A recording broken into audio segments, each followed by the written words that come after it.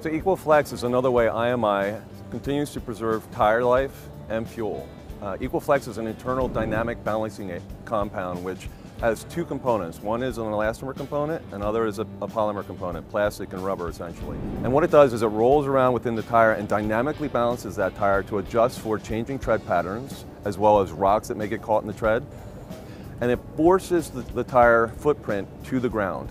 As a result of that, it's able to um, reduce vibration, which is ultimately energy loss, and increase fuel efficiency by about 2, two to 3%, as well as increase the life of the tire to as much as 40%.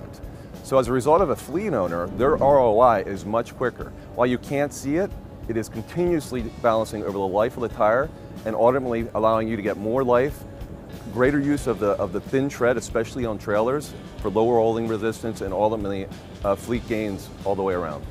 Flexx is just simply a drop into a tire. It's about 30 seconds of time. It's easy, any technician can do it. In fact, most people can just do it, drop it into the tire. So in terms of its installation, very significant in terms of reduction of cost and increased profitability, yet again, uh, for fleets and uh, dealers.